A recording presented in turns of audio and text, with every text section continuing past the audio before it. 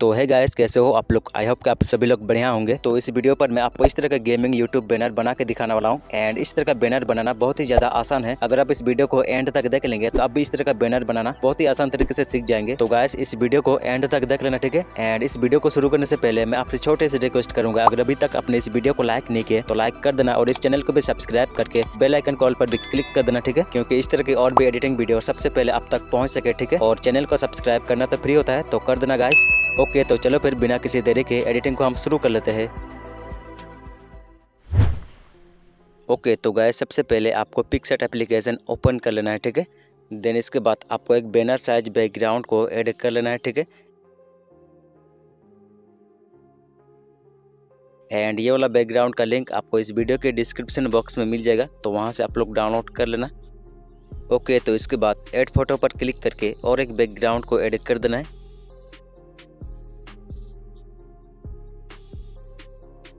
And इस background को थोड़ा सा क्रॉप कर लेना है यहाँ से। ओके तो क्रॉप करने के बाद इसको यहाँ पर ऐड कर देना है।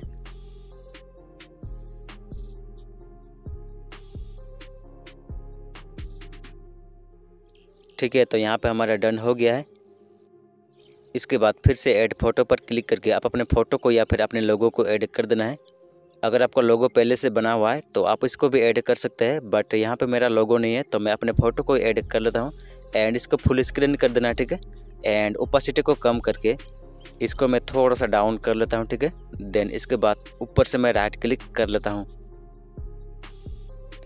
तो यहाँ पे हमारा बैनर का बैकग्राउंड रेडी हो चुका है तो इसके बाद आपको ऐड फ़ोटो पर क्लिक करके अपने लोगों को ऐड कर देना है बट यहाँ पे मेरा लोगो नहीं है। ये तो मैंने बता दिया था आपको तो मैं अपने फ़ोटो को दोबारा से ऐड करूँगा देन इसके बाद इस फ़ोटो के कलर को मैं चेंज करूँगा तो इसके लिए मैं इफ़ेक्ट आइकन पर क्लिक करके यहाँ पर मैं कलर आइकन पर क्लिक कर लेता हूँ।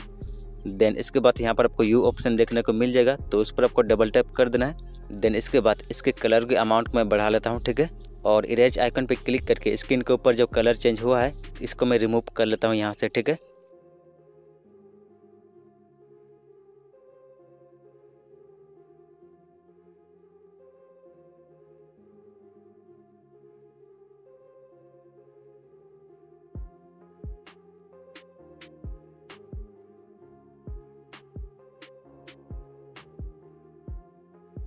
ओके तो गैस स्क्रीन से ऊपर मैंने कलर को रिमूव कर लिया हूँ। देन इसके बाद मैं ऊपर से राइट क्लिक कर लेता हूँ, ठीक है?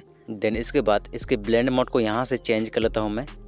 तो इसके ब्लेंड मोड को मैं लाइट पर रख देता हूँ, ठीक है? जिससे फ़ोटो हमारा लोगो की तरह ही दिखेगा। एंड अपना फ़ोटो या फिर लोगो जो भी हो, इसको साइड पर ऐड कर देना है ठीक है? देन इसके बाद इरेज आइकन पर क्लिक करके हल्का सा साइड एरिया से इसको इरेज कर देना है, ठीक है? एंड ब्रश की हार्डनेस को ज़ीरो करके आपको इरेज कर देना है, ठीक है? ओके तो गैस बैनर पर हमारा लोगो भी ऐड हो चुका है. देन इसके बाद ऊपर से आपको राइट क्लिक कर देना है. एंड इस बार आपको टेक्स्ट आइकन पे क्लिक करके अपने यूट्यूब चैनल के नेम को लिख देना है. तो मैं अपने नेम को लिख देता हूँ.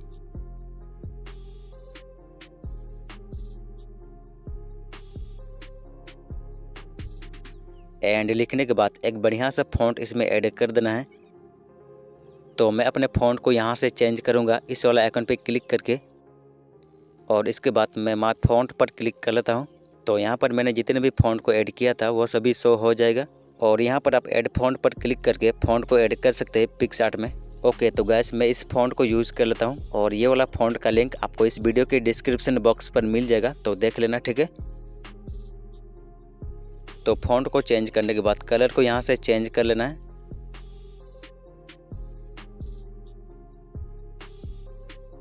देन स्टॉक आइकन पे क्लिक करके बॉर्डर को भी यहाँ से क्रिएट कर लेना है।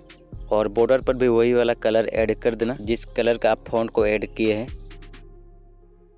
ओके तो इसके बाद ऊपर आपको प्लस आइकन पे क्लिक कर देना है, या फिर स्क्रीन पर टच कर देना है। देन इसके बाद आपको फिर से टेक्स्ट आइकन देखने को मिल जाएगा।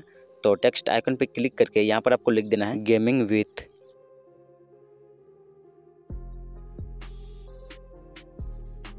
एंड यहाँ पर आपको इस तरीके से एक स्पेस छोड़ के लिख देना है। ओके तो इसके बाद इस फ़ॉन्ट को चेंज कर लेना है। यहाँ पर आपको अलग फ़ॉन्ट को यूज़ कर लेना है, ठीक है? देन इसके बाद कलर को भी चेंज कर लेना है। एंड इसको अपने नेम के ऊपर यहाँ पर ऐड कर देना है, ठीक है? ओके तो गैस यहाँ से मैं कलर को जल्दी से चेंज कर लेता हूँ। ओके तो यहाँ पे हमारा डन हो गया है।